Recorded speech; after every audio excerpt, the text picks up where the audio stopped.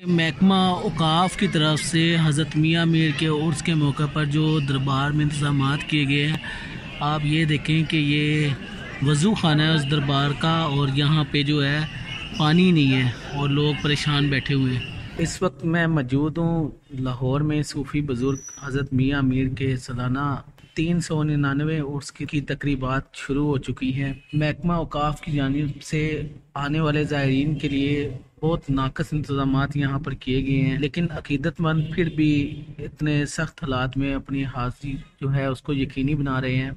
हमारे मुल्क के ट्रैफ़िक पुलिस की खातन ऑफिसर हैं, मन्नत पूरी होने के लिए तशरीफ़ लाई हुई हैं। खातन मन्नत के चिराग जला रही हैं।